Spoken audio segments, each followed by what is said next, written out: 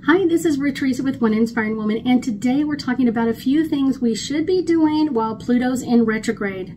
One of the big ones is let things out. If there are things that you have been holding onto for too long, kind of let them out because I will tell you it is a great time to really open your energy up and heal things.